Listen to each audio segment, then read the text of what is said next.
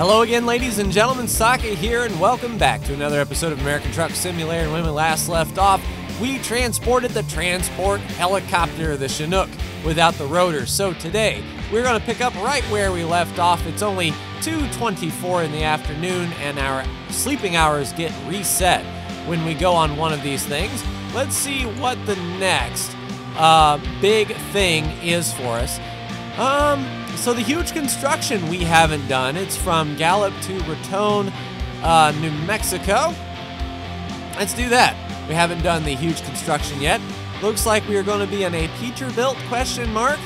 So why not? Let's go ahead and take the job and see what we need to do. There's only four more loads to take, and that is counting this one. So only three more after this to do, and we will have done every single special transport in the special transport DLC, and we can just figure out what we are going to do after that. Hopefully, it'll still be daylight by the time we get to uh, Raton. And there's also an achievement to drive all of the, the special transport routes. Now, I haven't been keeping track of the routes that I've been running, but I mean, all I got to do is look at my history, and I think it will say where I've gone, you know, to and from. There's our Peterbilt. It's a white Peterbilt, and wow, that thing is an interesting build. We've got some valves, maybe some pumps. Oh man, I don't know what that's going to be, but that is a monster. Yeah, I believe we are definitely going to be using, yeah, the tail trailer right there. Holy crap on a cracker. I imagine it's very, very heavy for sure, and it sticks out on the sides pretty well, as you can see in the mirrors. Oh man, this is going to be uh, an interesting trip for sure. All right, let's go ahead and start up the truck, get the parking brake off, get our cruise control set, which I guess the speed is fine. I think the cruise pops up actually right below that. Yeah, second gear has a little bit of pull with it. Now, I think we have driven this route before. I think I remember this wide right turn out of this place. But this is going to be interesting. Definitely watching there are corners for sure. And it is a massive, long trailer. So it's going to be um, interesting to get around these sharp corners like so. And I do remember this intersection, and holy crap, we almost clipped the dang fence. In fact, I think we did clip the fence right there. Man, oh man, oh man. Yeah, this is absolute nutso. You all had better stop. We have Gigantor coming through here. Yeah, I'd stop if I were you. The cop's like, look, get over, but I don't think they need to be told twice. Yes, we have done this route before, so what will be brand new for us on this particular route is this monstrosity right here. Uh, what I could have done was look through and see if I had any other uh, massive construction jobs on a different route, uh, one that we haven't done, but oh man, we got to switch back from the right and then back to the left and then the off ramp Oh man, this is going to be tough indeed. Luckily, the officer is blocking the left lane, because we're going to need all of that here. Get over as much as we can. Alright, we did it. Now, I think we clipped the nose of the truck, but it's not our truck. We don't have to worry about it. We'll just stay towards the center. I mean, this thing sticks out quite a bit. The construction workers are like, yeah, look at this thing. We're like, I know, it's huge. Yeah, we should be fine going through the city here. Man, it almost clips off that turn lane. It's a good thing no one was in that turn lane. They were going to be exiting right here towards Albuquerque. Now this uh, may be a tad bit narrow, if I had to make a guess. keep our foot in it as much as possible. All right. Sweet. So out on the open road, we can hit 40. I don't know what kind of engine we got in this thing, but we're going to flat foot it one gear at a time and slowly get up to that speed.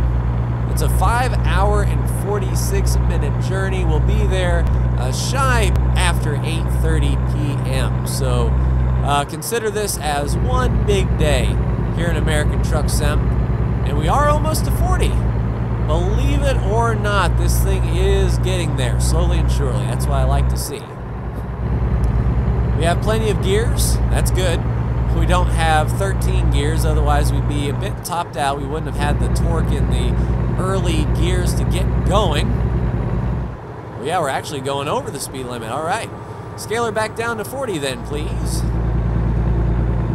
And we'll just ride here. Let's take a look at this monster from the outside looking in. Yeah, special construction, my right foot. Take a look at this. I mean, valves.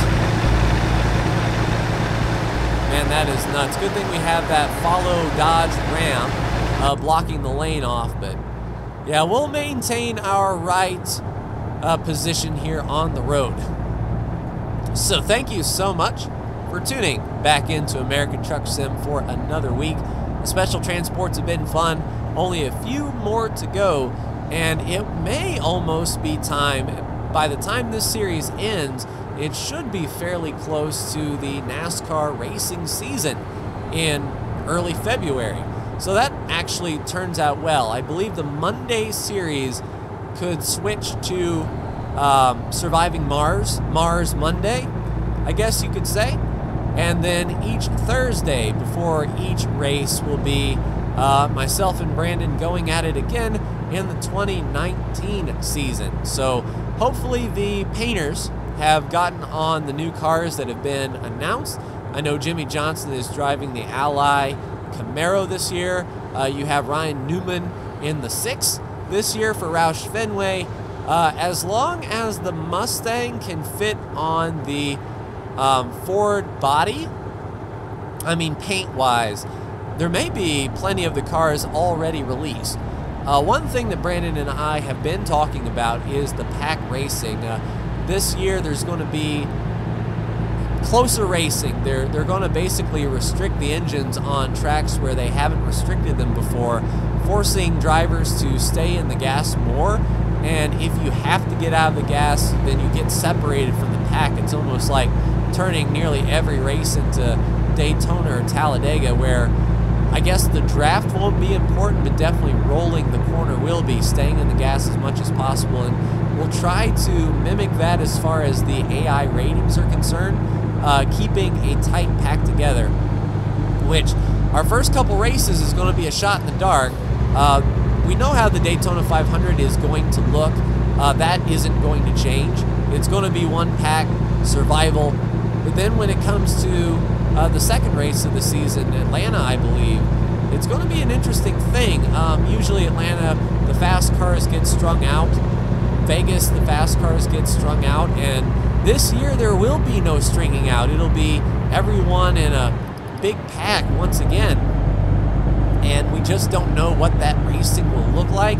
So it's tough to do our series justice by, you know, just racing regular and saying, well, if they didn't have the restrictor plates on, this is what the racing would look like. We'll try to mimic the actual racing as best we can, the on track product as best we can and just see how that goes. There may be some surprise winners from all of this uh, pack racing. If more cars are more equal, it will come down to the driver who makes the least mistakes rather than the driver whose team invested a lot of money in that new suspension or uh, the team that has spent a lot of money in the wind tunnel massaging a fender. Um, all that is going to basically go out the window, and it's like, what line are you in? Who is going to push you, and you know how long can you stay in the gas. So it'll be an interesting new product. So we'll change up uh, this year.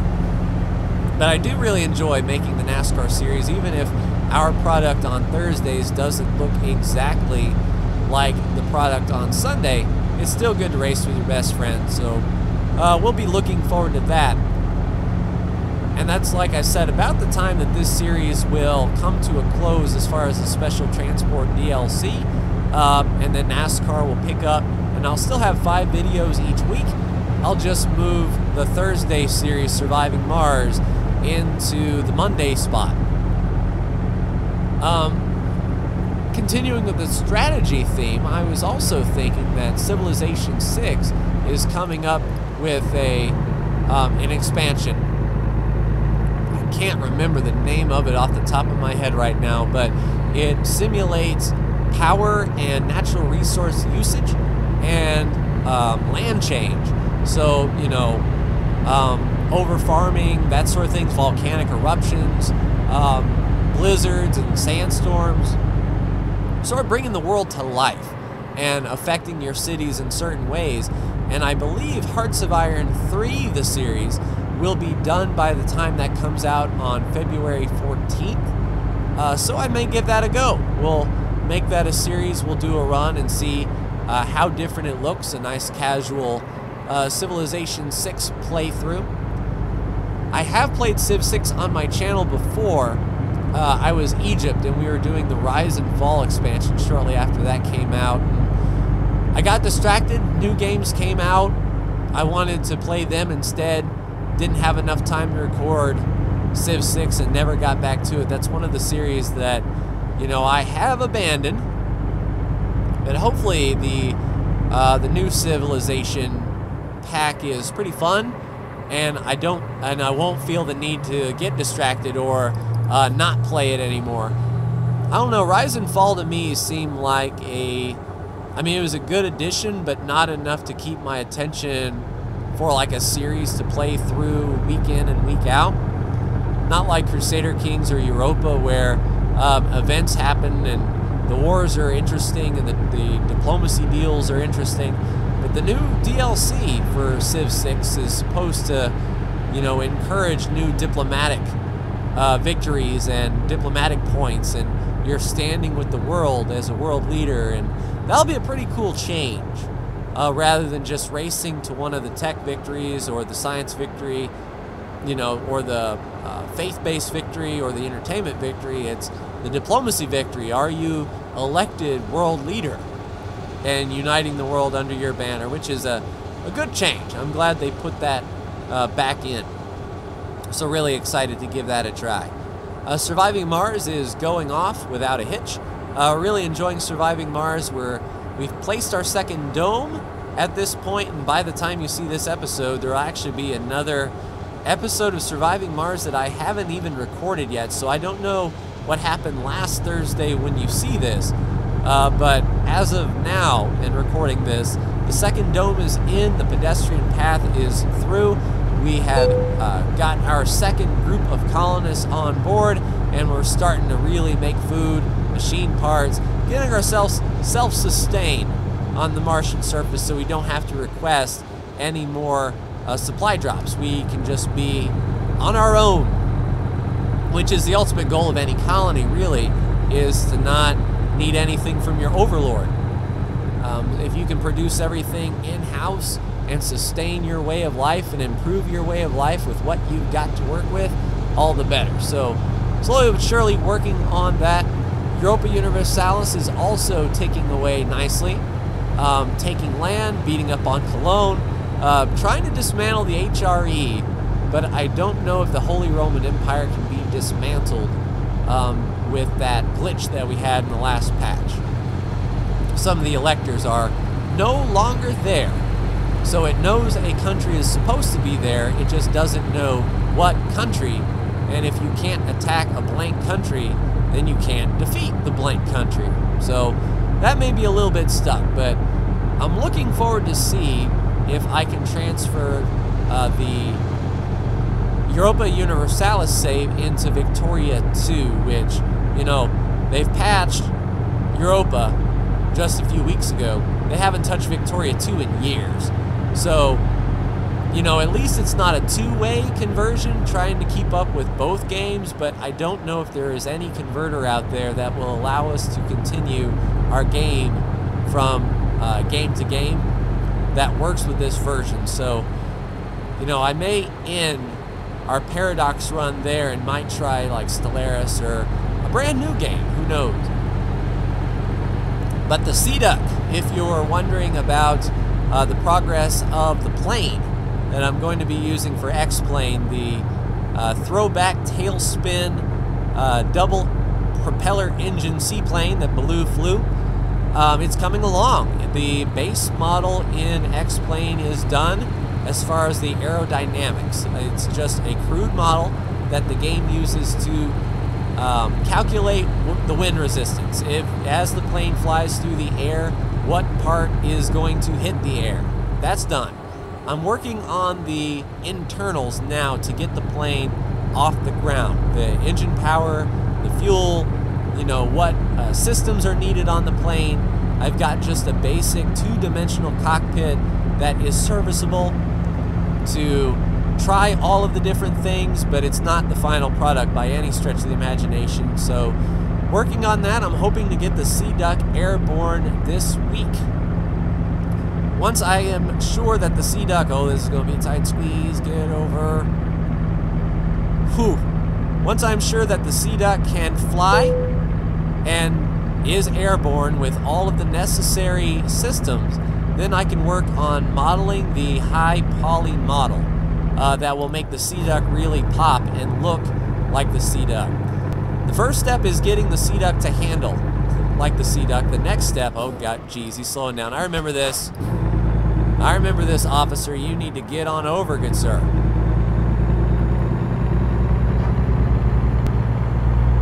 So the first step of any plane and X-Plane is to get it aerodynamically sound. Then the second step is to get the systems on board and make sure that the, the plane behaves in the air as it needs to. And then it's just the window dressing after that, getting the high poly model done and assigned to the aircraft. And then getting the animation so every flap that moves, the, you know, any light that flickers, all of that stuff has to get rendered uh, and placed on the, the aircraft and then scripted to work with the button presses in the game. Uh, so X-Plane, from a base standpoint, allows you to just drop in a switch and it knows automatically where it's going to go. If you put in a throttle, it knows that, hey, when I move this throttle, it's going to, you know, make the engine go faster. Well, when you import a, a, a model that you have done, the game doesn't know what that throttle is. It doesn't know that that is a throttle to even begin with. It just knows that it is a part that is animated to go backwards and forwards. So that's where the scripting comes in. So you tell the game that when this animation does happen, make that the throttle. So I have to do that for every switch in the cockpit, the control stick. I mean, everything that I want to do. Um, once the high poly model for the outside will be first. Once I get that, then I can work on the flap animations and the, the ailerons and the elevators, the things on the outside of the plane that physically move when you move the stick. Once that's all well and good and I have a good looking Sea Duck on the outside, come on cop, what are we slowing down for here? Then we need a good looking Sea Duck on the inside. So that is from the ground up building the cockpit based on the drawings I have, putting in every single switch, every single gauge, assigning animations for anything that moves in that cockpit, and then telling the game that when that stuff does move, make this happen. So it is a long process for sure. If you want to do it right, it is a, a very long process.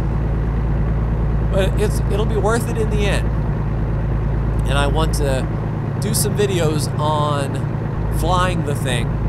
And I may even do a status update, like say once a month, to say that this is what I've been working on.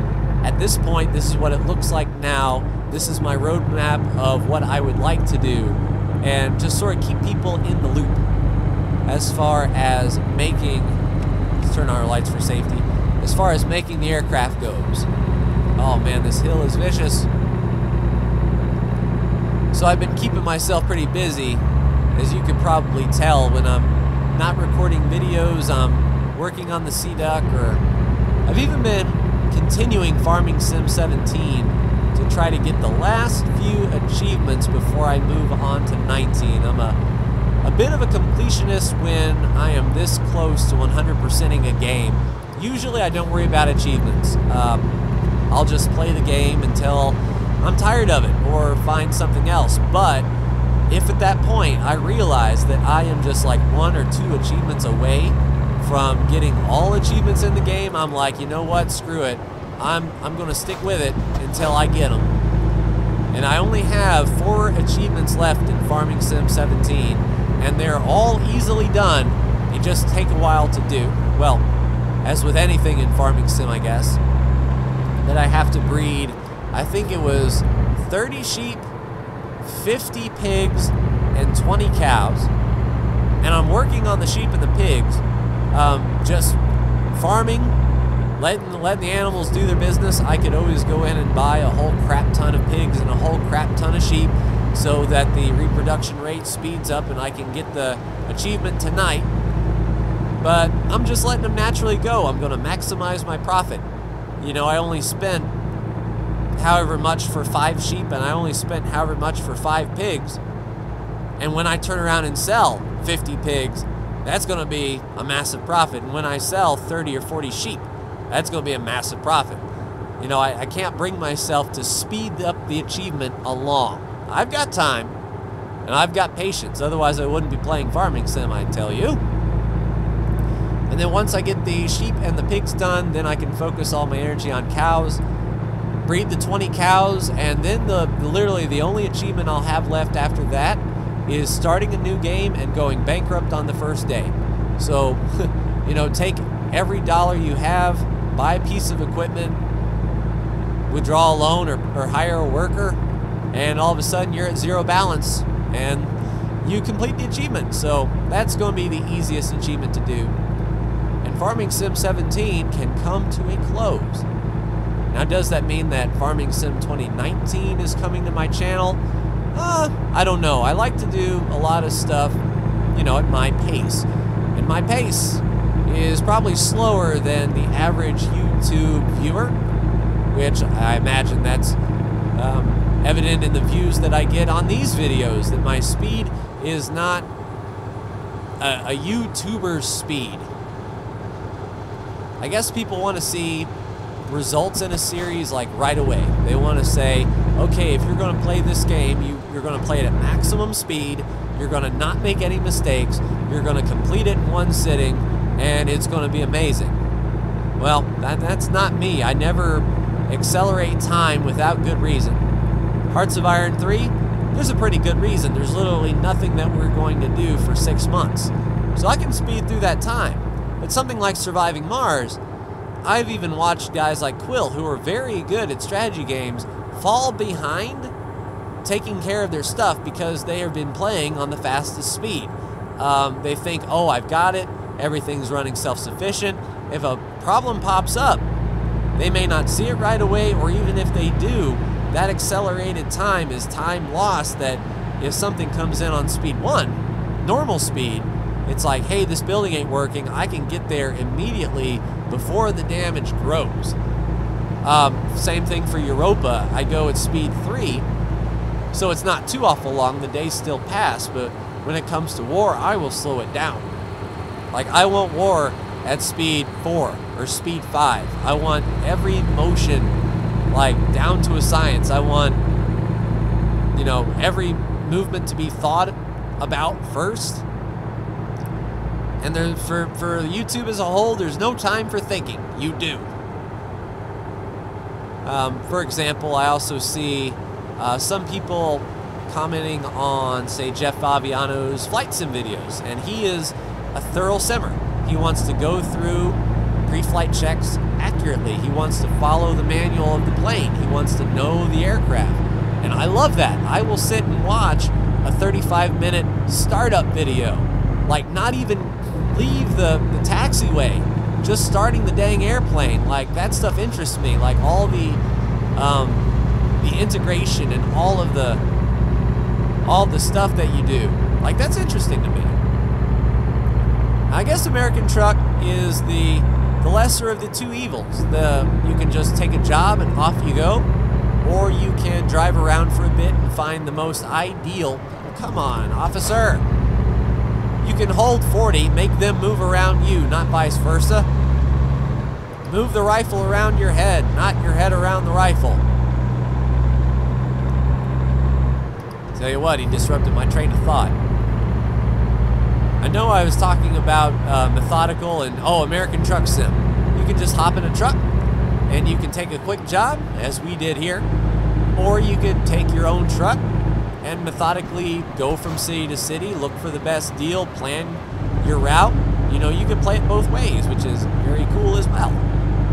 Jeez, thread the needle right there. So we're two hours away from uh, Raton.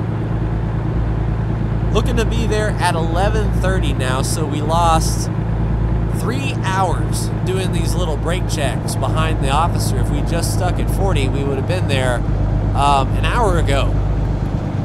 But every little brake check compounds and compounds. And I don't know what loads we have yet to do. Uh, looking at the list, we could probably figure it out. Shooting Star or artillery. That's right, it was the artillery range that was uh, being shot over. I made a comment on the, the last time we drove through here at nighttime with the artillery firing overhead. Kind of feels like deja vu. When the lights when the lights go out, everything looks the same. But we do remember the artillery shells. It's a good thing I got a look at the load during the daylight for sure.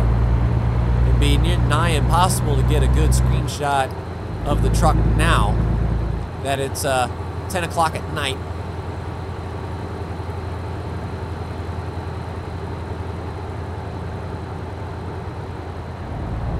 Really looking forward to a few games coming up. I'm not a big Resident Evil fan, but I will watch someone play it. It's kind of weird. There's some games that I know I will never play. Resident Evil 2 is a perfect example. But I still like the look of it, and I like to watch it. But as far as controlling it and actually taking time to play it, no. Don't think I'll touch that one. Of course, as an Imperator or a Paradox fan, Imperator Rome, uh, watching Johan do some actual gameplay, you know, it's exciting. And I know they're highlighting Rome because, one, it's Imperator Rome. They expect people to play as the Roman Empire, but as with any Paradox game, you don't have to. You can start at, you know, any country that was around at that time, and you can make things very difficult for yourself. As anyone who's watched my Hearts of Iron 3 series can attest, countries are not built equal. You know, Germany in 1936 is a completely different beast than Iraq in 1936. That is for sure. But I like the challenge. And I don't know what country I would play as an Imperator Rome. The Spartans or the Greeks are a good draw. Might get to play the Peloponnesian War. I wonder if it's, uh, not exactly sure of my timeline, but I don't know if uh, Xerxes from the Persian Empire would make a, come on, officer. We got a freaking load of dynamite or something in front of us, and he's clogging up the road. Everyone's passing all of us. And then I think the AI is freaking out because the people in the left lane are trying to get over to the right, and that causes that, that truck to slow down, thinking, oh, I'm going to hit him, which causes the officer, officer to slow down because we're not going to move over and pass him. Not with this load. So we are at the mercy of a dynamite truck. Makes you feel all warm and fuzzy inside, doesn't it?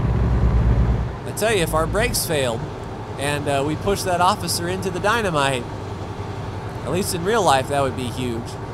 In American Truck Sim, we would just go boom and then get fined for not, you know, driving correctly, even though it's all the dynamite truck's fault. But it looks like he's uh, sort of taken off, yeah.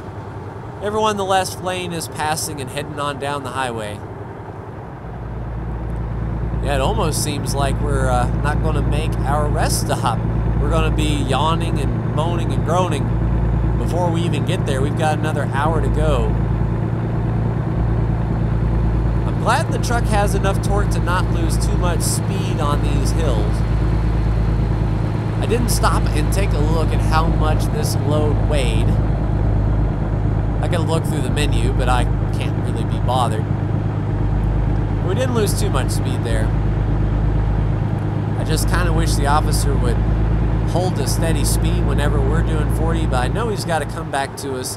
A good lead vehicle keeps the vehicle he's leading in in the mirror. But if, if he wouldn't just let these people over, we could get a you know a bit more room here. And I wonder what kind of drop off we're going to have. It better not be that one that we had some difficulty with. I'm trying to remember what the drop off in Raton really uh, really was. Passing the Farmington exit with some Jose Cuervo over on the right.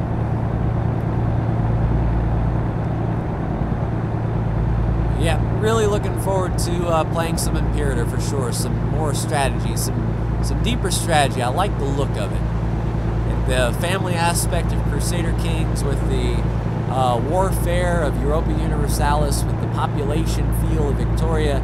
It's like uh, you take every Paradox game minus Stellaris and you just cram them together.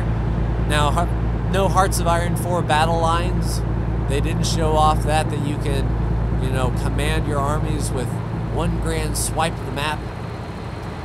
But quite honestly, I don't think they really.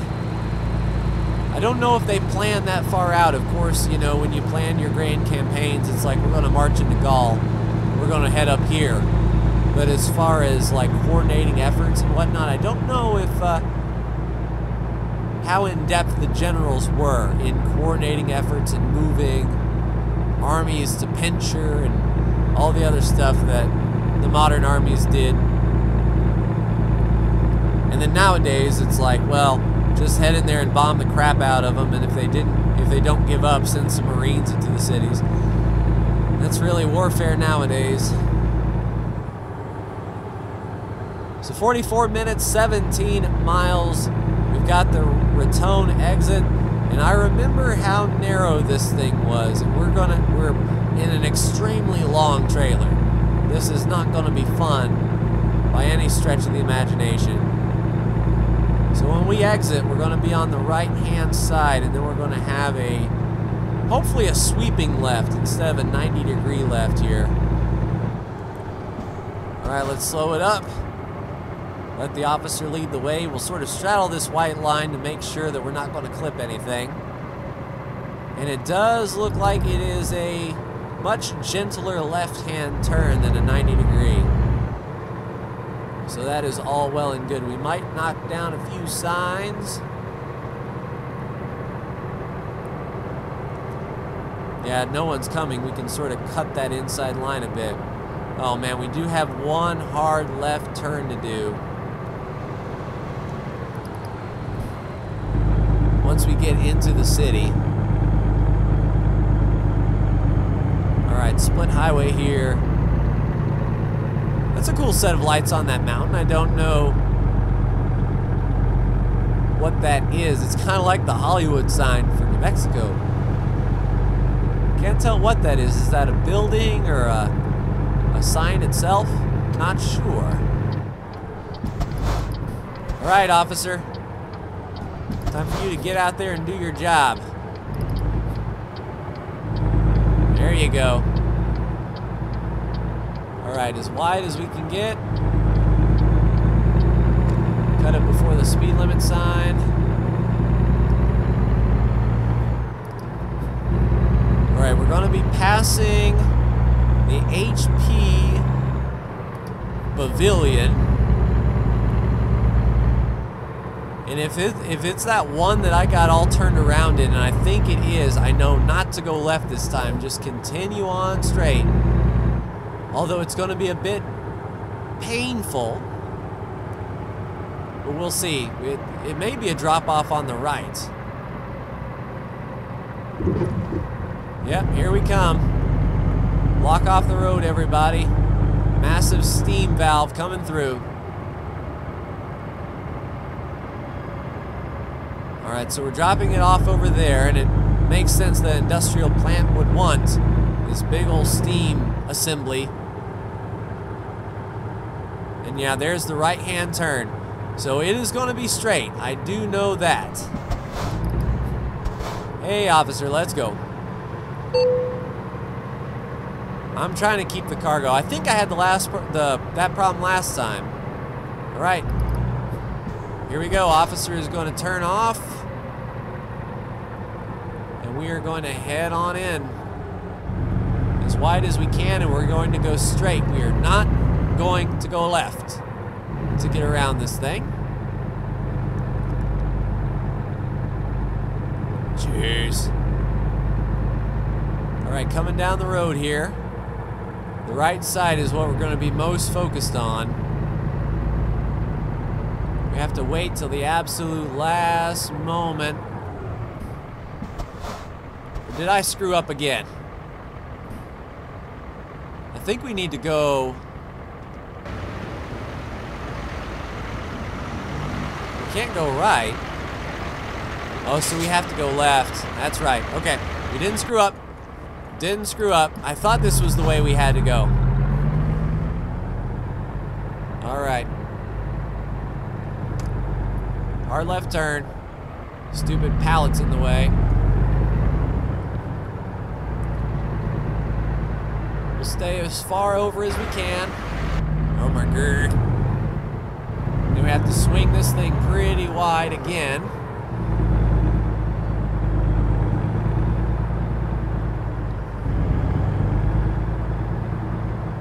Don't think we're going to clip any corners.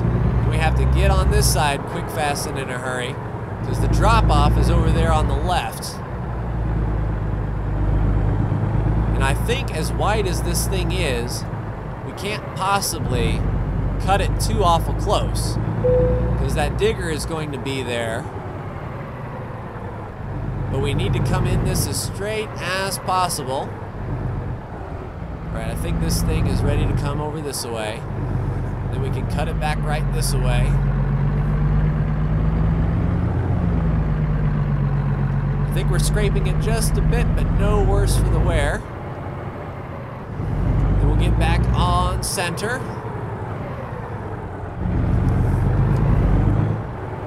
Then just pull it straight forward and see, are we straight enough? Looks like we may be. I think we got away with it.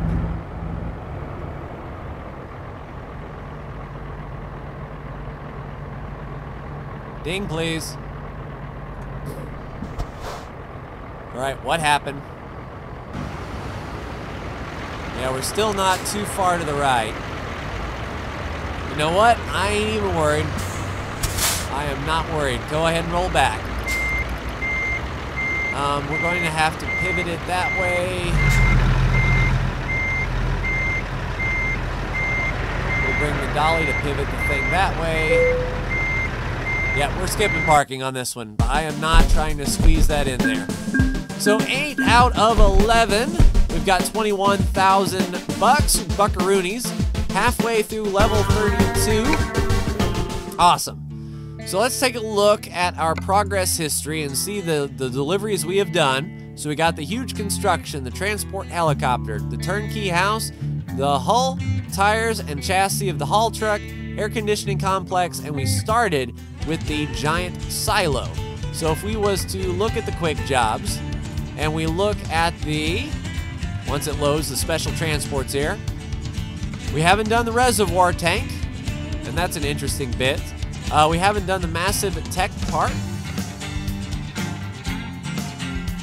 Giant silo, and the service boat. So service boat, large reservoir tank, and massive tech part is all we need to finish, but that is going to do it for me in this week of American Truck Sim. Ladies and gentlemen, like, share, and subscribe if you are so bold. Thank you so much for tuning in, and I'll see you in the next video. Take care.